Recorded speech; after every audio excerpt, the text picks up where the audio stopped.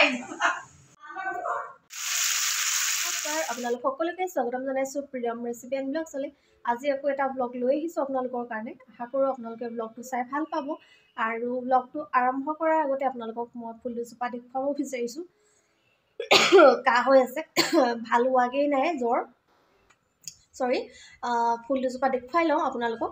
আৰু এগৰাকীয়ে কমেণ্টত কৈছিলেও যে ফুল দুজোপা ফুলিলে দেখুৱাবা তেখেতৰ নামটো মই পাহৰি গ'লোঁ বাৰু।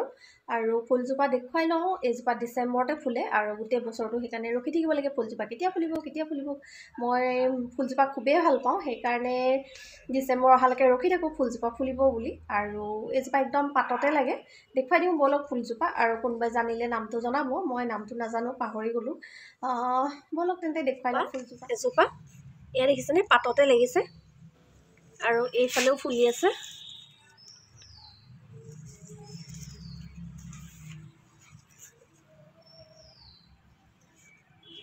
আৰু এইকেইটা কলি হৈ আছে।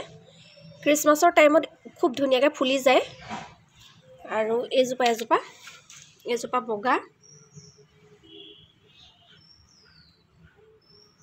আৰু এইখিনি কলি।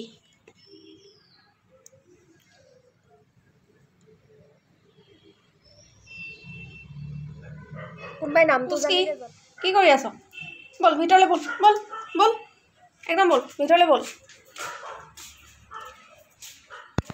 এইফালে আমাৰ পলে ভাত খাই আছে। আৰু এতিয়া টিকলি আৰু মই যাবলৈ লৈছোঁ নিচাহঁতৰ ঘৰলৈ। আমাৰ ঘৰৰ একদম ওচৰতে লাগি আছে। আহ, তাতে ককা আইতাৰ শ্ৰাদ্ধ আছে। এয়া আমি আহি পাই গ'লোহি। ভকতে নাম লৈ আছে। আৰু এইবোৰ মাহ প্ৰসাদ ৰেডি কৰি ৰাখিছে।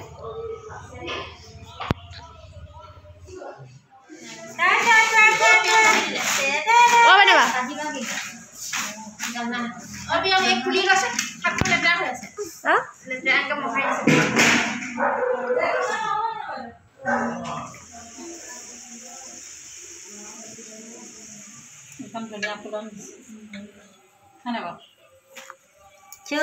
ফুলিছে হা, ফুলিছে। হেৰি হৈ গৈছে কিছুমান।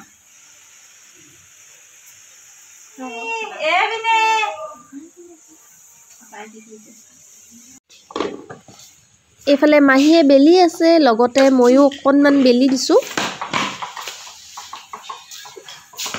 আৰু নিচাই প্ৰসাদ ভাগ কৰি আছে। ভকত খাই মেলি গ'ল কিন্তু মোৰ ভিডিঅ' কৰা নহ'লে। ভিতৰত থাকোঁতে আৰু এতিয়া ঘৰৰ মানুহখিনিয়ে খাবলৈ লৈছে।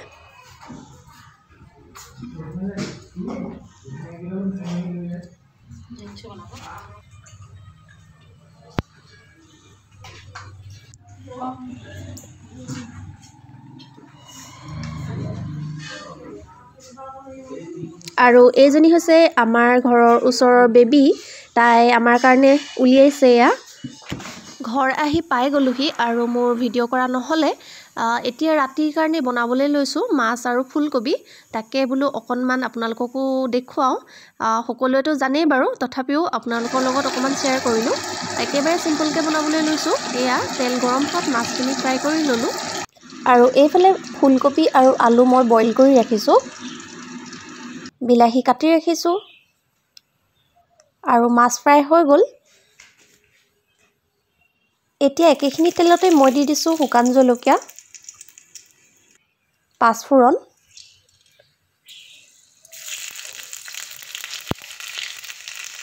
পিঁয়াজ। আৰু এতিয়া দি দিছোঁ বিলাহীখিনি। মই ইয়াতে মছলা ব্যৱহাৰ নকৰোঁ।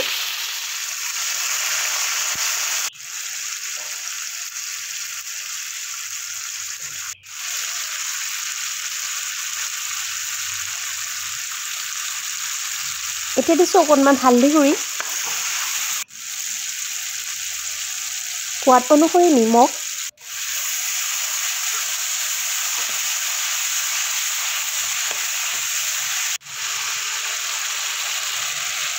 বিলাহীখিনি সিজি অহাত এতিয়া দি দিছোঁ মই আলু আৰু ফুলকবিখিনি।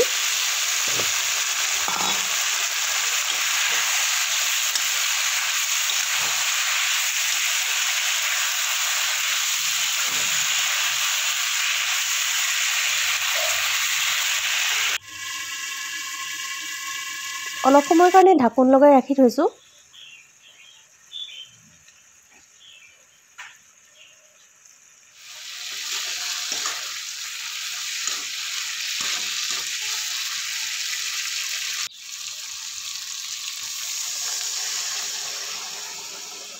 আৰু এতিয়া দিছোঁ ইয়াতে পানী।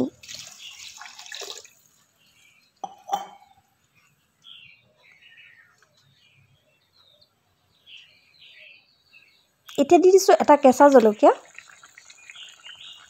আৰু উতল অহাত ইয়াতে এতিয়া মই মাছ দি দিছোঁ।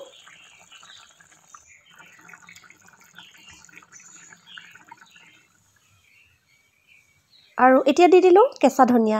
মোৰ মাছৰ ৰেচিপি হৈ গ'ল আৰু একেবাৰে চিম্পুলকৈ বনাইছোঁ।